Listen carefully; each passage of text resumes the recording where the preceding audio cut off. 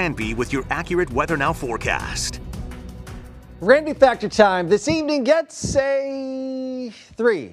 It's unfortunately nasty for trying to get something done outside, at least through 9 o'clock. Live Super Doppler 7 radar. Green is light rain. Darker green, steadier rain. Yellow and orange and red, heavier rain down here between Louisville and Ashland. Our high temperature 74, low temperature 67 and precipitation about three tenths of an inch now at Omaha's Eppley Airfield, and it, of course still raining, so we're going to add to that the next several hours. West Omaha, this is our camera at the Methodist Women's Hospital looking back to the southeast. West Dodge Expressway traffic looking good.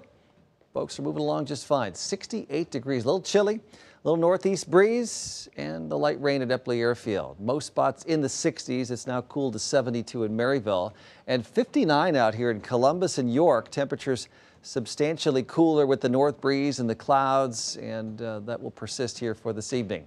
Here's our storm predictor, 7 o'clock. Heavier rain in southeast Nebraska. There's a flood watch down here. Some spots could get an inch or two of rain around the Omaha Metro, probably looking at more like a half an inch or so. 8 o'clock.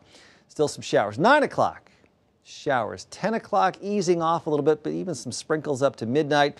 4 a.m., morning drive tomorrow. Here's a look at the radar and satellite. The back edge has been clearing out, but also moisture is creeping back up from the south, so it's going to take a while for that back edge to get in here. You can see the yellow, darker green, heavier rain farther south of us.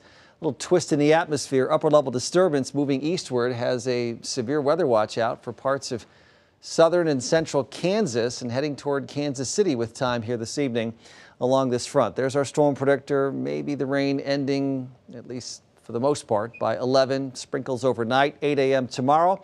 Still some clouds around, but the bulk of the rain south of us and high pressure could dry out the atmosphere a little bit. Break up the clouds for tomorrow night. Thursday, decent. A little disturbance could possibly bring us a couple of showers late day and especially north and west of us here. 61 the low.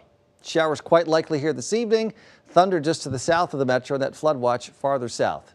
Tomorrow morning, slight chance there could be some showers for the morning drive. Still some clouds at midday, but partial sun in the afternoon, 77 degrees, high of 78. 83 on Thursday. There's a better chance of some showers and thunderstorms Thursday evening and Thursday night, and also Friday. Friday actually has a risk of severe weather.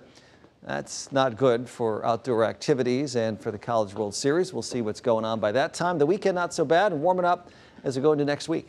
All right. Well, wet day at the College World Series.